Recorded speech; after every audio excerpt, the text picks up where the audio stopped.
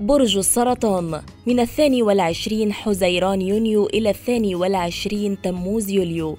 مادياً أيام الحظ في هذا الشهر واحد وأحد عشر وتسعة عشر وستة وعشرون. تحاول الهروب من مواجهة الواقع المادي الصعب والذي يتطلب جرأة وشجاعة لتحسينه. وتنسى أن أكثر الناس مع مصالحهم ولو اضطروا أن يخونوا أصدقائهم كن جريئا في مواجهة من ظلمك؟ وضع أمامه الحقائق التي تجعله يشعر بالخجل من نفسه ومن تصرفاته وسلوكه ولا تدع أموالك تضيع. وربما تكون في منتصف الشهر أمام خيارات كثيرة لتحسين وضعك المادي. ولكنها تحتاج للدراسة المستفيضة والاستشارة الخبراء والمختصين. تريث في اتخاذ أي قرار يتعلق بالأمور المادية حتى نهاية الشهر. رقم الحظ اثنان. مهنيا الأيام الهامة والأكثر سعادة في هذا الشهر سبعة وثلاثة عشر وثمانية عشر وستة وعشرون. بعض الصعوبات المتوقعة تقف حائلا أمام طموحك وأهدافك وستتجاوزها بعد منتصف الشهر بفضل قوة إرادتك وصبرك ومساعدة أسرتك، ثم تدخل في فترة من الأعمال الهامة والمنسجمة مع طموحك، وتتبدد الغيوم التي عكرت عليك حياتك في السابق، وتتاح لك ظروفا مناسبة لاتخاذ قرارات ناجحة على الصعيد المهني، وبتنفيذها تصل إلى أهدافك وطموحك. اليوم الأفضل الاثنين. عاطفيا العازب.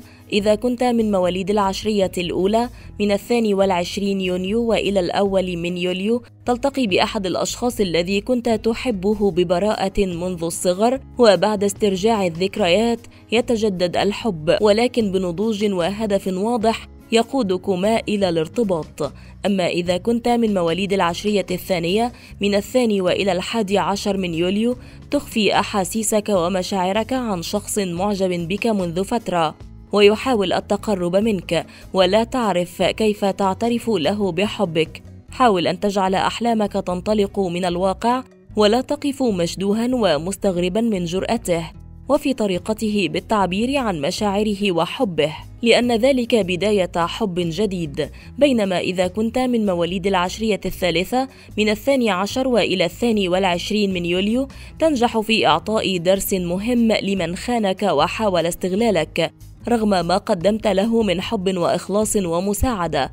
وقد تلتقي في نهاية الشهر بالشخص الذي يحرك أحاسيسك ومشاعرك وينسيك تجربتك العاطفية المؤلمة السابقة وتعيش تجربة جديدة. المتزوج يمر الشريك بفترة صعبة ويشعر بعدم اهتمامك به ويعيش العزلة وأنت الوحيد القادر على إخراجه منها. وفي منتصف الشهر تعيش مرحلة جديدة وتغير كثيرا من توجهاتك. حيث يكون طموحك هو الشاغل الأساسي ولكن الشريك ينتظر منك الكثير وحياته متعلقة بك وأنت تنشغل عنه بأمور ليست جوهرية. أعطه الاهتمام اللازم.